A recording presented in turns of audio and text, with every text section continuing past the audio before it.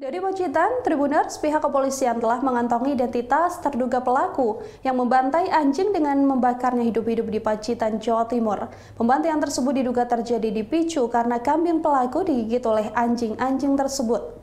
Polres Pacitan juga sudah memeriksa sejumlah saksi untuk mendalami kasus yang terjadi di Kelurahan Sidoarjo, Kecamatan Pacitan itu. Kapolres Pacitan AKBP Wiwit Ari Wibisono mengatakan Identitas terduga pelaku sudah dikantongi dan sedang dalam tahap penyelidikan. Berdasarkan informasi, 11 anjing tersebut dibunuh lantaran terduga pelaku kesal anjing itu menggigit hewan ternaknya. Terpisah, Kasat Reskrim Polres Pacitan AKP Juwair mengatakan pihaknya sudah memanggil empat orang saksi untuk menggali keterangan kasus tersebut. Dua orang di antaranya adalah pemilik anjing dan dua lainnya merupakan penjaga rumah. Sebelumnya kasus pembantaian anjing ini viral di media sosial setelah diunggah oleh korban. Sebanyak 11 ekor anjing dibakar oleh sejumlah orang di Sidoarjo, Kecamatan Pacitan, Kabupaten Pacitan, Jawa Timur pada Kamis 29 April 2021. Bahkan anjing tersebut juga dianiaya menggunakan linggis sebelum dibakar di lokasi kejadian. Jasad anjing yang hangus dibakar pun dibiarkan tergeletak begitu saja di sekitar lokasi.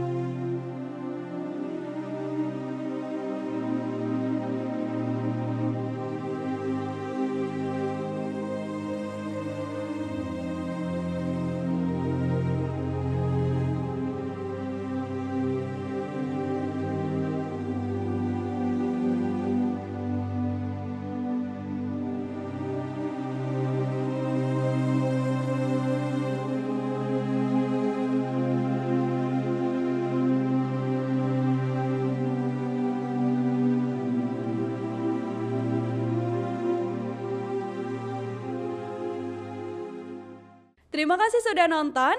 Jangan lupa like, subscribe, dan share ya.